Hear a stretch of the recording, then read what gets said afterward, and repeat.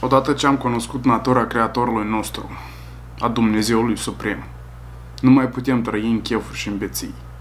Nu mai putem trăi după mersul lumii acesteia și a face tot ce vrea lumea. După aceasta se cunoaște că noi l-am cunoscut pe Dumnezeu sau nu l-am cunoscut pe Dumnezeu. Și anume, credința noastră în Dumnezeu o definește faptele. Dar dacă ai fapte și nu ai credință, faptele tale nu-ți folosește la nimic. O acțiune adevărată este mână în mână cu credința în Creatorul tău și înfăptuind ce te îndeamnă El în fiecare zi. Astăzi este ziua 329 și am citit din Ezechiel capitolul 47, versetul 1 până la capitolul 48, versetul 35. Am citit din 1 Petru, capitolul 4, versetul 1 la 19 și am citit din Psalm, capitolul 133, versetul 1 la 3, acolo unde psalmistul David ne îndeamnă pe fiecare dintre noi și ne spune cât de plăcut este lui Dumnezeu unitatea oamenilor. Unitatea atunci când frații se înțeleg, când familia se înțelege, când feciorul vorbește cu părinții, când părinții vorbesc cu copiii săi, când cei dragi sunt împreună. Aceste lucruri sunt plăcute lui Dumnezeu. Dacă credem că Dumnezeu nu iubește unitatea, atunci noi ne greșim amarnic. Fiindcă lui Dumnezeu îi place unitatea, dar satanii niciodată nu i-a plăcut. El totdeauna a iubit să distrugă, să ruineze, fiindcă omul singur este cel mai ușor să-l dez, dezbraci, să-l distrugi, să-i scoți totul din el ce reprezintă omenirea și natura lui Dumnezeu și de fapt să-l capete pentru el. Astăzi în 1 Petru ne dă un îndemn fiecare dintre noi și vreau să-l citesc. Spune că nimeni dintre voi să nu sufere ca ucigaș sau ca hoț sau ca făcător de rele sau ca unul care se amestecă în treburile altuia. Din potrivă, dacă suferă pentru că este creștin, să nu-i fie rușine, ci să proslavească pe Dumnezeu pentru numele acesta. Căci suntem în clipa când judecata stă să înceapă de la masa lui Dumnezeu. Și dacă începe cu noi, cei care credem în Dumnezeu și înfăptuim faptele lui Dumnezeu, care va fi sfârșitul celor ce nu ascultă de Evanghelia lui Dumnezeu? Și așa este un text din Vechi Testament, spune, și dacă cel neprihănit, Dumnezeu, spun, a, a, omul, scapă cu greu, ce se, se va întâmpla cu cel nelegiuit și păcătos? Nelegiuit înseamnă cel ce nu îndeplinește legea lui Dumnezeu, cel ce nu l-a cunoscut pe Creatorul său. Acestea sunt nelegiuiții, în engleză spune ungodly, oamenii care nu cunosc pe Dumnezeu și pe cel păcătos. Păcătoșii sunt cei care spun că cred în Dumnezeu, dar ei și comit păcate. Spune că și satana crede în existența lui Dumnezeu, dar el reprezintă natura păcatului. De aceea, orice om care l-a cunoscut pe Dumnezeu, a crezut în Dumnezeu, nu poate să umble în acțiunile păcatului.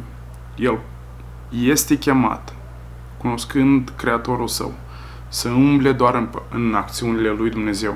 Și Dumnezeu, Apostol Petru ne îndeamnă astăzi, ajunge cât ați mers după mersul lumii acestea și ați înfăptuit totul ce îi place satanii.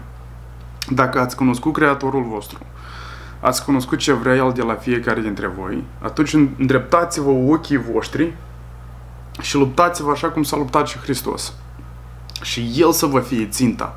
El să vă fie cel ce vă trezește în fiecare dimineață. Cel ce vă dă acel impuls în fiecare zi. Și vă aduce acel zâmbet pe buzele voastre de care fiecare dintre noi avem nevoie în fiecare zi. Așa că cei ce suferă după voia lui Dumnezeu să-și încredințeze sufletele credinciosului ziditor și să facă ce este binele. Astfel suntem îndemnați de Apostol Petru și astăzi am finisat cartea Ezechiel. O carte plină de profeții. O carte unde se profețește că Hristos va veni pe pământ. El va fi împărat peste poporul Israel. El va domni peste toate semințiile.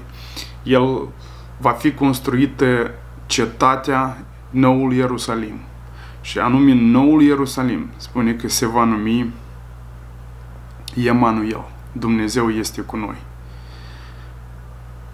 Va lua numele din Ierusalim, Emanuel, fiindcă Dumnezeu va trăi în mijlocul cetății, fiecare seminție va fi e, răspândit așa după cum a fost pusă și în Ezechiel și interesant că toate aceste lucruri le va pregăti satana și Dumnezeu îi va da voie să, să facă toate aceste lucruri.